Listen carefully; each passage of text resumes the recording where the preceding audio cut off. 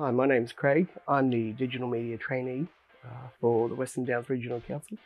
Hi, my name's Anastasia and I'm a business trainee with the Western Downs Regional Council. Uh, I applied for the position because I um, needed to get back into the workforce and this was a good stepping stone. I applied for this traineeship because it was a really great way for me to gain experience and increase my knowledge at the same time. There's so many different avenues within the council, there's really something for everyone here. Um, don't think that your age is something that would hold you back.